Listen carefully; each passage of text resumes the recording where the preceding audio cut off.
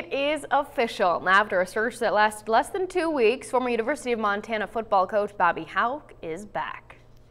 The days leading up to Thanksgiving, I had a thought that that would be the absolute best place for me personally, uh, is to come back to the U of M and, and see if I can do my part to help this become the great place that I believe it is. Hauck returns to UM after eight years at other schools. There was no disputing Hauck's coaching qualification for the position. The Grizzlies won a Big Sky title in each of Hauck's previous seven seasons at UM, and they advanced to the national championship three times. But many have protested the choice. They cited arrests of former players during his first Montana run and the coach's brash attitude, particularly with UM with the student newspaper. We talked about, look, if you come back, these are things that will come up. Are you comfortable addressing those things? Are we comfortable talking about those things?